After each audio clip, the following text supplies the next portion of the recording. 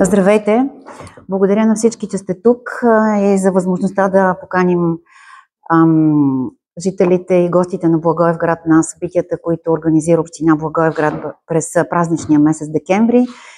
А, знаете, че така, коледния фестивал е доста очакван в нашия град. Има традиция и хората се надяват да се случат ам, красиви, хубави, топли, уютни неща, които да ни сплотят още повече като, като общност. Това е целта на, на коледния фестивал, на всички събития, които правим, да обърнем внимание на, на нас и на семействата ни, на хората до нас, на децата ни.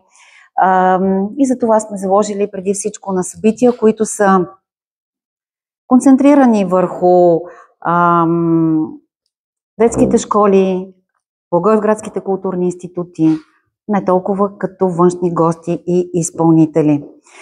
Откриването на коледния фестивал е утре, 6 декември, 18 часа.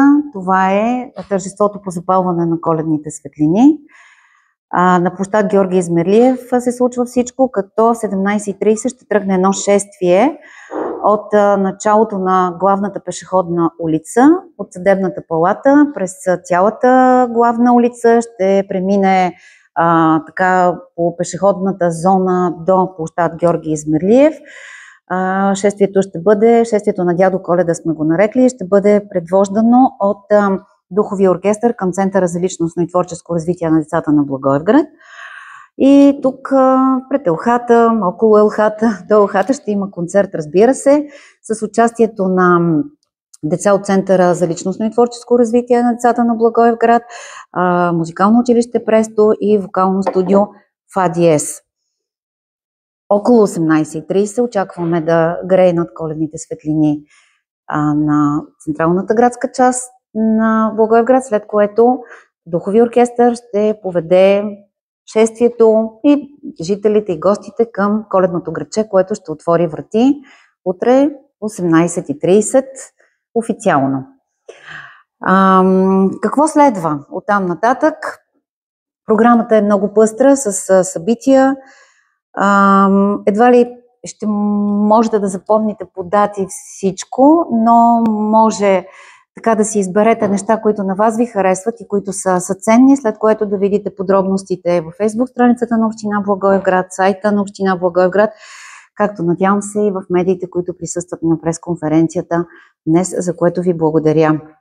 На 7 декември се открива работилницата в Младежкия дом Направи си сам. Тя е за приложни изкуства и е организирана от Центъра за личностно и творческо развитие на децата на Благоевград.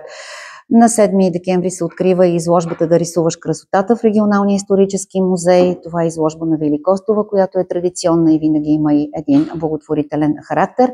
Много често през така декември ще чувате думата благотворително, защото много от събитията имат благотворителен характер.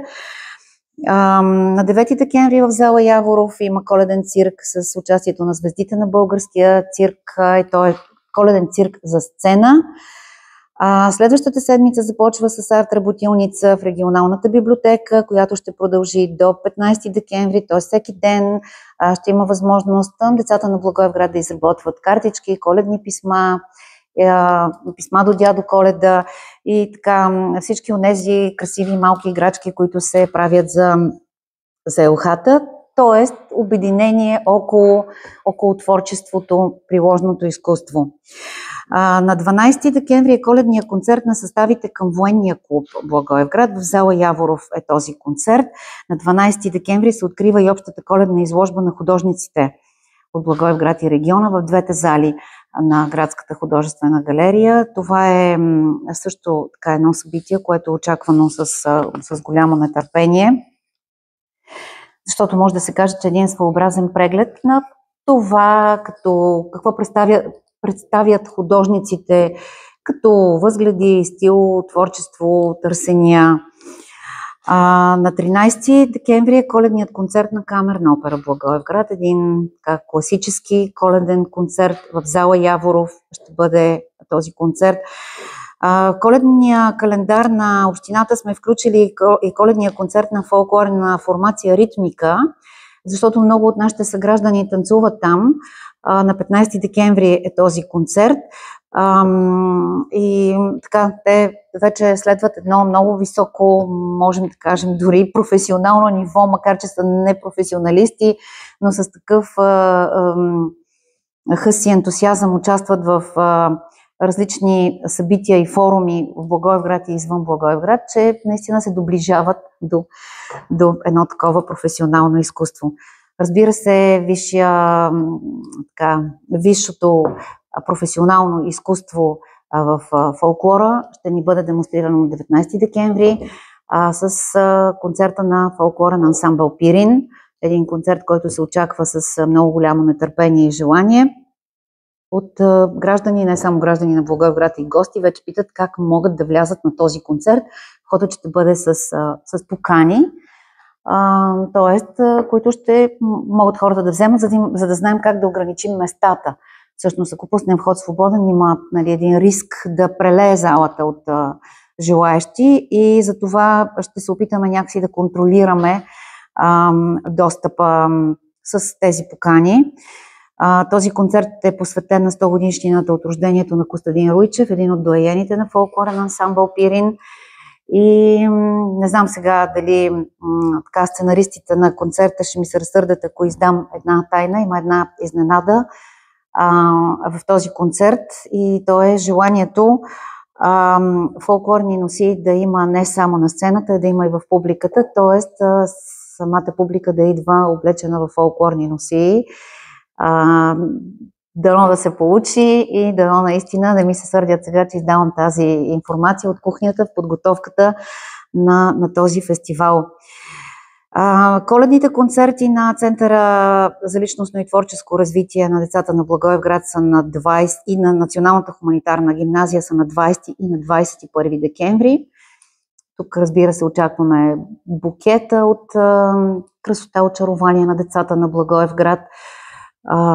Центъра, знаете, с много школи има какво да покажат. Това е своеобразен годишен концерт, както и на Националната хуманитарна гимназия, единственото училище, за което, което се изучават изкуства на територията на Юго-Западна България, така че за тях това също е един вид годишен концерт.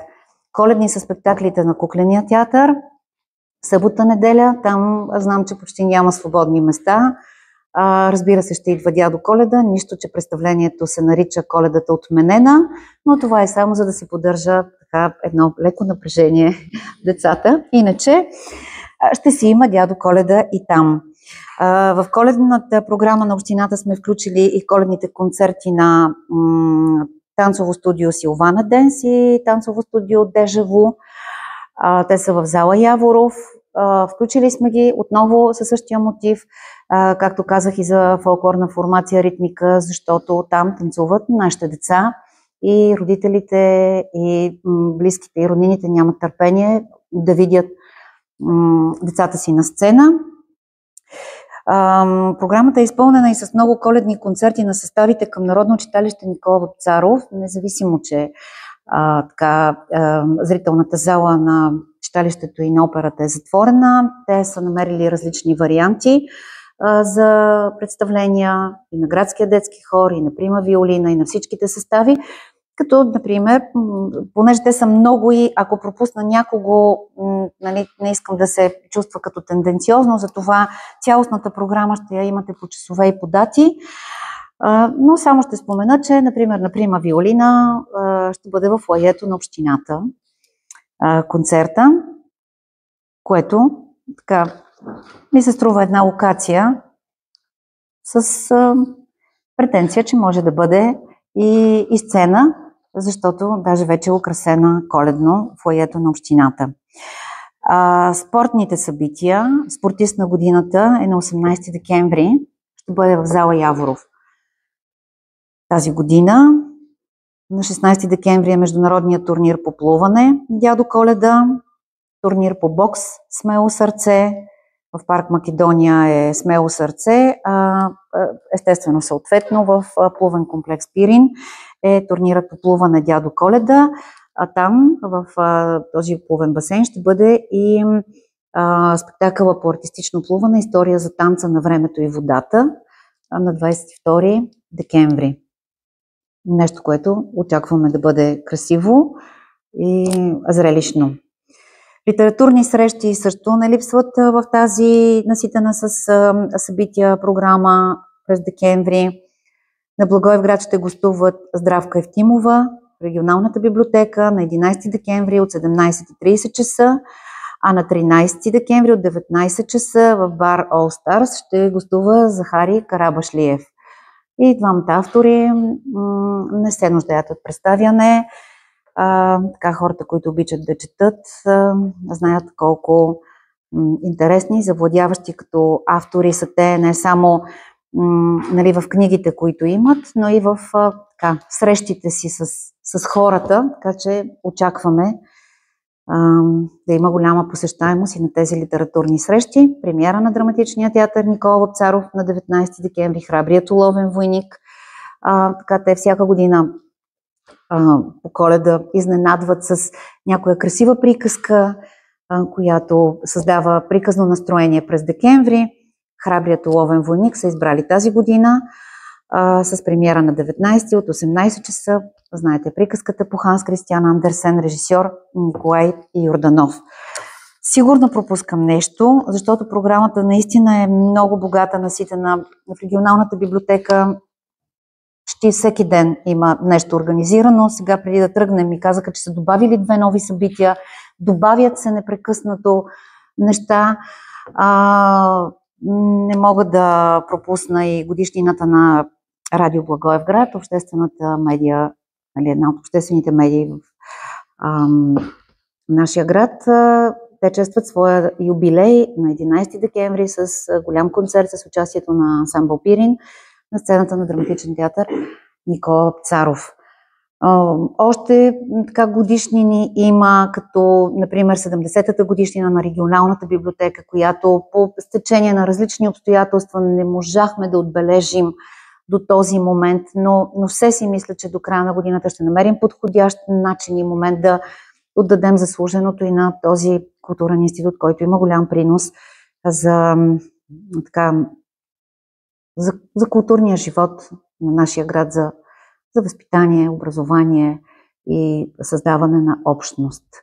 Ако пропускам нещо, колегите ще ме подсетят. Ако не, вие може да ме попитате и да... Само да уточним тези покани как ще се раздават. Ами тези покани... Той ще бъде на 14 януари.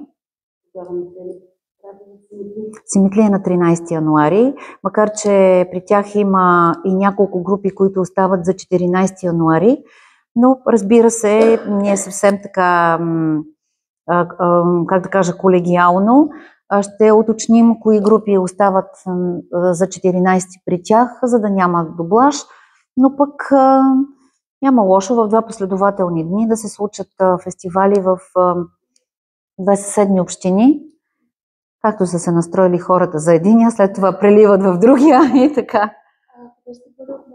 Отново тук, да, да. Ами, струва ми се, че до 14 януари.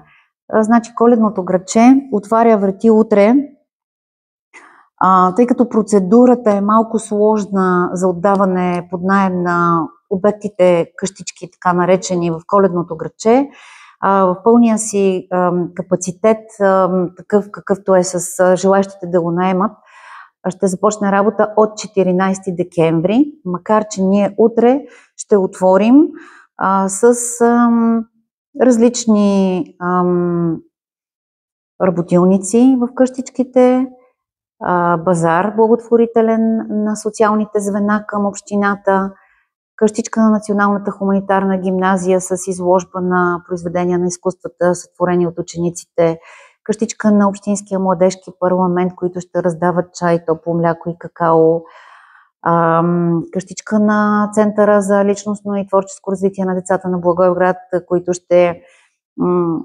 помагат учителите, имам предвид и не само възпитаниците на център, но всички деца, които са там в този момент да изработват коледни картички, писма до дядо Коледа и какви други къщички имахме, социалните, НХГ, Общински младежки парламент, А, отново на площад Георги Измирлиев а, ще бъдем заедно на нова, нали, този преход от едната към новата година, старата към новата година.